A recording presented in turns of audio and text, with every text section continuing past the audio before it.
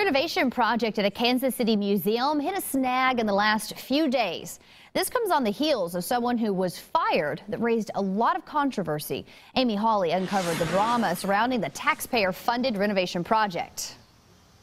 Well, can you believe it? Somebody actually used to live here. This is Corinthian Hall, and you may know it as the Kansas City Museum, or some know it as the R.A. Long Mansion, a gorgeous old 30,000 square foot mansion that's at the center of a city controversy.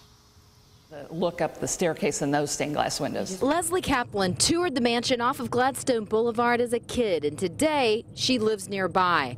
A mansion built by lumber baron R.A. Long in 1910. Its 70 rooms and 15 closets are adorned with gold plated hardware, ornate ceilings, and glass pane roofs. The money needs to start flowing. Problem is the historic site, which houses many of Kansas City's precious artifacts, is only partially renovated.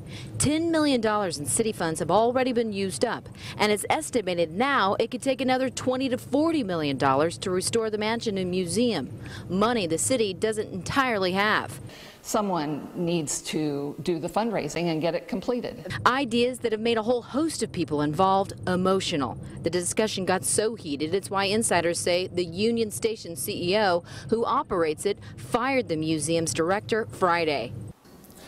Well, we're not going to comment on on Christopher Leitch and his situation. The museum wants to separate itself from Union Station so it can start its own massive fundraising campaign. But others have suggested it be turned into a community center or even shut down. So it's really the city's decision on do they want to renovate it to um, a historic house?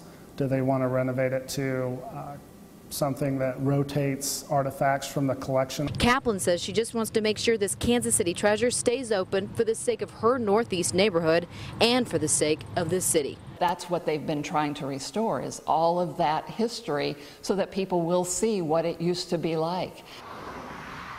Now, the museum's former director, Christopher Leitch, also wouldn't say why he was fired, but told me today over the phone his heart is broken.